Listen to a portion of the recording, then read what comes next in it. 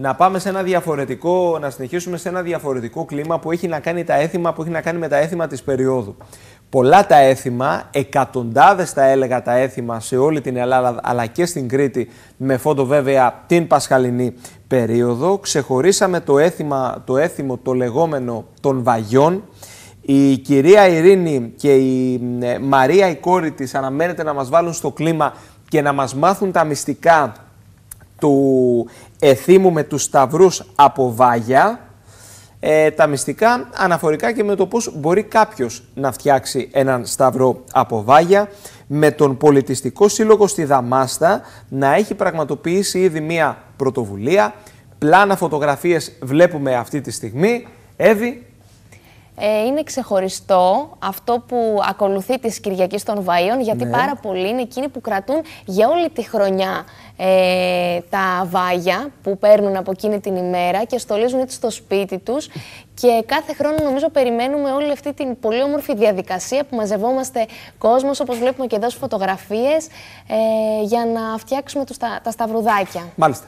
Λοιπόν, πάμε να συναντήσουμε την κυρία Ειρήνη Τριγώνη και την κυρία Μαρία Τριγώνη, μητέρα και κόρη. Την καλησπέρα μας, πώς είστε; Καλησπέρα σας. Καλησπέρα. Σας ευχαριστούμε πολύ. Εγώ να πω η κυρία Μαρία Τριγώνη είναι μέλος του Πολιτιστικού Συλλόγου Δαμάστας και η κυρία Ειρήνη βέβαια κάτοικος εκεί της περιοχής.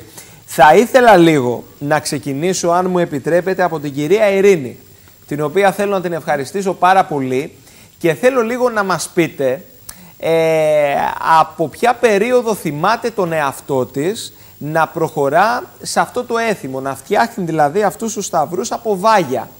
Από μικρή κυρία Ειρήνη. Ναι, καλησπέρα και από μένα. Σας ευχαριστώ για την πρόσκληση στο κανάλι σας και στην εκπομπή σας.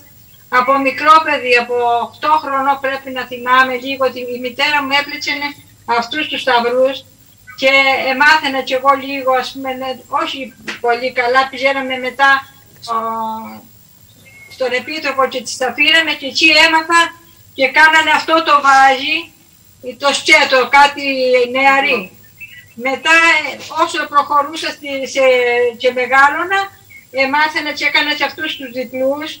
Μετά από τα 20 μου και έπειτα έμαθα αυτούς τους, τους διπλούς διάφορα σχέδια. Αυτοί γίνονται όπως άμα αρχίσεις να πλέσεις και να κάνεις, σου έρχονται πολλές ιδέες στο μυαλό. Κάνεις διάφορα πολλά σχέδια, όπως η διπλή, τρίδιπλη, τετράδιπλη, δεν μπορώ να σας δείξω. Ε, αυτά τώρα. Για πείτε μας, πόσο δύσκολο είναι κάποιος να φτιάξει ε, αυτούς τους σταυρούς και ποιο είναι το, το υλικό που χρησιμοποιείτε; Ένας ένα βάζι που είναι 8 φορές να το κάνεις, 4 φορές να το πλέξεις με αυτόν τον τρόπο, με αυτό και μετά είναι οι δύο φορές που το πλέξεις με αυτή τη... το, σχέδιο. Αλλά ε, είναι και να τα κάνεις και πολύ απλά που γίνονται πιο γρήγορα. Με αυτόν τον τρόπο, δηλαδή από τη μια μεριά μόνο. Κυρία Ειρήνη, τι υλικό χρησιμοποιείτε εσείς για να τα φτιάξετε; Τι βλέπουμε αυτή τη στιγμή; Είναι εύκολο που το, το βάζει το άσχετο. Τα βάζει τα σκέτα. Να το, το σκέτο βάζει. Το κόβεις, όχι από την καρδιά που βλέπω πολλές, πολλά βάζια που πάνε ορισμένοι και τα κόβουν από την καρδιά και το καταστρέφουν.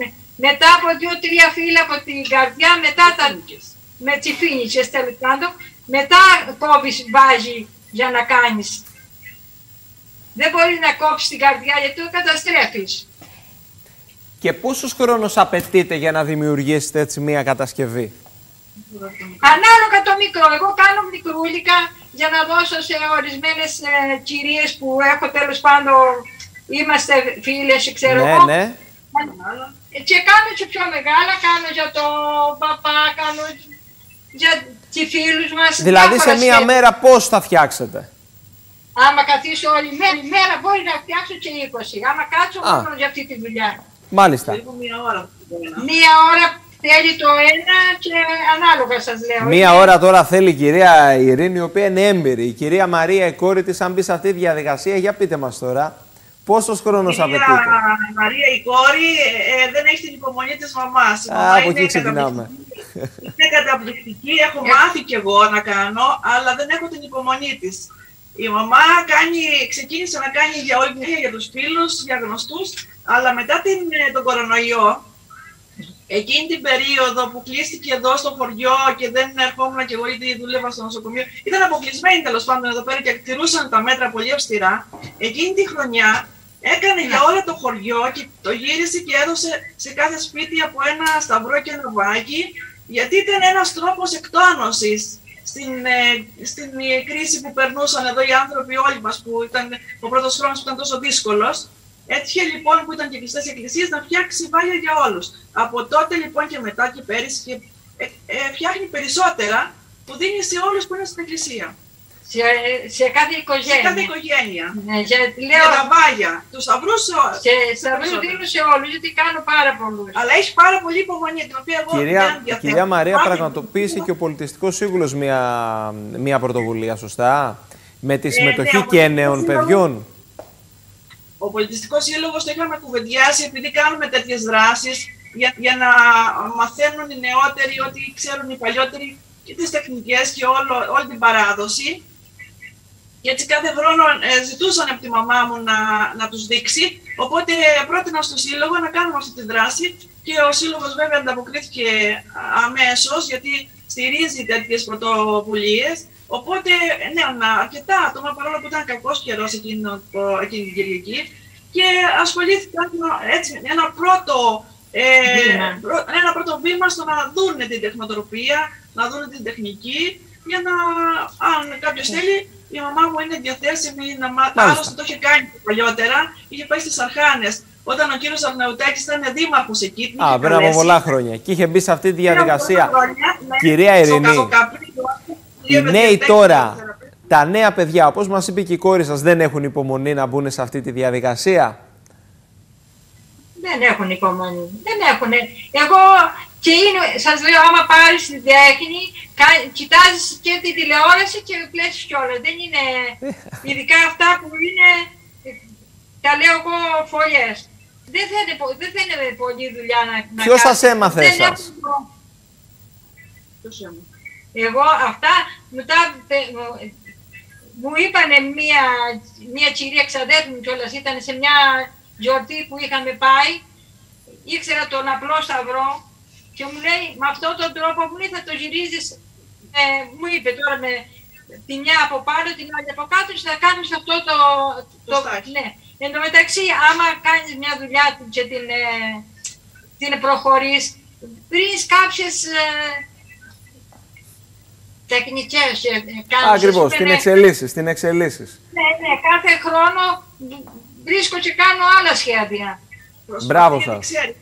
Μάθει. Έχω μάθει και από φλεχτά και έχω ιδέα, ας πούμε, ναι, τι να κάνω τη μια χρονιά Είστε από την άλλη. εξαιρετικοί. Εγώ θα σταθώ σε αυτό που είπε η κυρία Μαρία, η κόρη σας, ότι όποιος επιθυμεί μπορεί να έρθει σε επαφή μαζί σας να του μάθετε αυτή την Όποιος ξεχωριστή θέλει, τέχνη.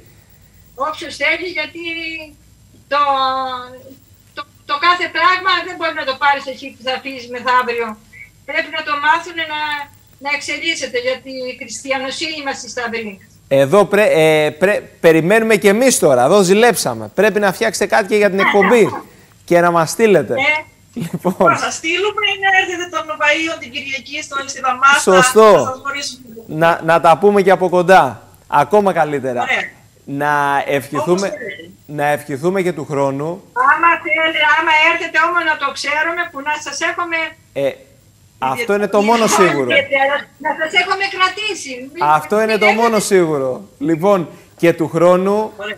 ε, να μας κάνετε Να έτσι είστε καλά, περήφανους ευχαριστούμε πάρα πολύ. και να μας δημιουργείτε ευχαριστώ. όμορφα συναισθήματα. ευχαριστώ πολύ. Έχουμε ανάγκη τη νέα γενιά, αλλά ξέρετε ότι έχουμε ανάγκη και αυτές τις όμορφες ε, ηλικίες που γυρνάμε το χρόνο πίσω και νιώθουμε καμιά φορά κάπως νοσταλγικά και περίεργα. Αλλά σας χρειαζόμαστε. Με το καλό να τα ξαναπούμε και του χρόνου. Ευχαριστούμε Ευχαριστούμε πολύ. πολύ. Σας ευχαριστούμε πάρα πολύ. Σας ευχαριστούμε πάρα πολύ.